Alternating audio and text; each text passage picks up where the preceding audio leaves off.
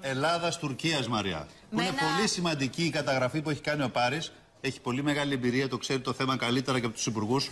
Και θα μας το πει τώρα με στοιχεία συγκεκριμένα. Με αποκαλυπτικό ρεπορτάζ που έχεις κάνει, Πάρη. Πάμε να το δούμε λοιπόν πώς αποτυπώνονται αυτές οι δυνάμεις σε αριθμούς πια. Λοιπόν, να, Συσχετισμοί δηλαδή μεταξύ να μας. δούμε τους σχετισμούς. Λένε ότι οι αριθμοί λένε πάντα την αλήθεια. Δεν είναι ακριβώς έτσι. Εδώ θα εξηγήσουμε μετά. Δηλαδή. Ε, Εδώ βλέπουμε το ενεργό προσωπικό που έχουν στις ενόπλες δυνάμεις Ελλάδα και Τουρκία. Συνολικά και στα τρία όπλα είναι αυτό. Ναι, σαφώς υπερέχει η Τουρκία, αλλά αυτό είναι και λογικό. Είναι πολύ μεγαλύτερη χώρα. Είναι λογικό να έχει πολύ περισσότερες. Είμαστε ένα-δυόμιση όπως το έχεις καταγράψει. Ακριβώς. Από τις 355.000 που βλέπουμε ενεργό προσωπικό στην Τουρκία, πρέπει να σημειώσουμε ότι το 42% είναι πλέον επαγγελματικός στρατός. Α, ναι. Αυτό είναι ένα ποιοτικό στοιχείο που θα πρέπει να μας Πολύ προβληματίσει. σημαντικό. Πολύ σημαντικό. Γιατί εμείς αυτό το κάνουμε εδώ κυρίως στο ναυτικό. Εδώ δεν Και- έπιασε γενικώς. Δεν έπιασε και πολύ, Ξεκινήσαμε αυτή την ιστορία με τους επαγγελματίες οπλίτες.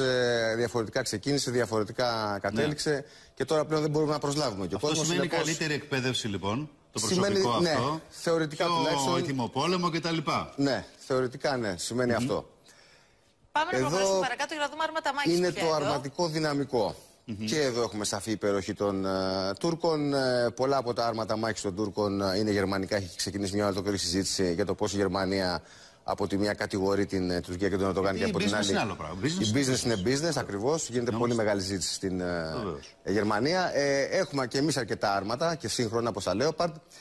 Εδώ, Εδώ ένα προς ένα προς ενάμιση. ενάμιση. Μεταφορά προσωπικού. Ναι, Μεταφραγισμένα. τεθωρακισμένα 1,5 προς 1. Και να εδώ έχουμε μια προχωρήσουμε υπεροχή τώρα τουρκική. παρακάτω. Στα άρματα μάχης. Τεθωρακισμένα οχήματα μάχης. Ε, είναι σαφής η υπεροχή της ε, Τουρκίας. Γενικώς η Τουρκία έχει εξοπλιστεί τα τελευταία χρόνια πάρα πολύ σε όλους τους Έτσι ε, είναι. τομείς.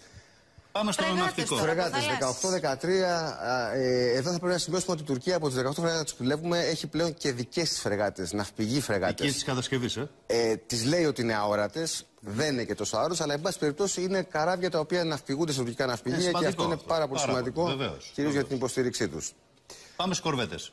Κορβέτες, ε, εντάξει, κορβέτες εμείς τώρα δεν ε, έχουμε. Εν πάση περιπτώσει είναι άλλα τα άλλα Περίπου τα άλλα πλοία, ισοδύναμοι είναι είμαστε εδώ. κανονιοφόροι κτλ. Τα λέμε Περίπου κορβέτες, ισοδύναμοι, εντάξει. ναι.